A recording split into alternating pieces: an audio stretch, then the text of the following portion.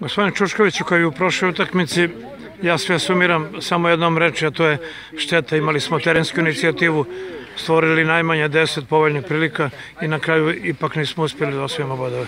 No dobro ste rekli, to već viđeno. I ja sam i zadnje u konferenciji za novinar pre izjavio to i radio sam cijela nedelja ali ipak e, u svojoj dugogodišnjoj karijeri nisam ovo doživio. Da deset utakmica gol ne zabijemo, a izlazimo najmanje 3-4 puta sam na prazan gol. E, to je ipak kvalitet igrača.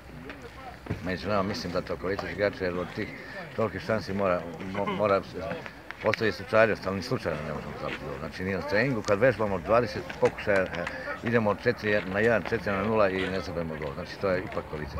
Dobro, ali imali smo igru u svojim rukama i to je također kvalitet. Pa jeste, Međutim, ali završnice... Ta, ta realizacija, kažem, to je, e, gledali ste utakmice tu, pa oni imaju jednu šansu, recimo Voždovac, pa nam zabije gol.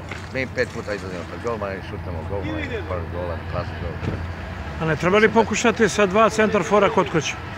Možemo i mi sa dva centrafora pa da izgubimo sredinu terena jer ove ekipe su sve jake na lopti vidjeli ste kada Da. ovaj, ako to pokušamo nećemo imati igru. Mi imamo solidnu igru. Ja sam zadovoljan sa igrom. Nije to e, da mi ovaj, ne pokušavamo da igramo. Mi igramo protiv svakog isto. Znači mi pokušavamo da igramo i kroz tu igru da napravimo šanse i pravimo. Znači nije razlog to za dva špica ili tri. Mi smo u završnici dolazili po 3-4. Danas i na prazan gol smo promašli i izašli dva put, tri put pred golmana. Znači nije to razlog e, sa dva špica, tri špica, jer mi dolazimo sa 3-4 u završnici. I levi špici, odnosno levi i desni i imali su danas prilike. I Pele, odnosno i Bandić koji je ušao i dva puta iza, nisu zabili. Ivković tamo. Ivković, pa znači nije, nije razlog e, broj špica. Oni su svi špicevi kad se nađu sam pred golmanom, on e, treba da realizuje šansu.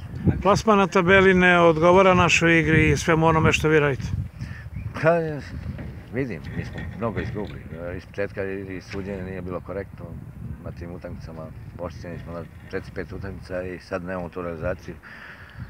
Sad imamo korektno suđenje, ali realizacija i protiv Mačvi sad. Pa da, to je, imali smo te- druge utakmice 10 šansi, a šta da, znači mi pravimo šanse, igra postoji. Da. Dograđujemo je, ali realizacija nam je katastrofalna.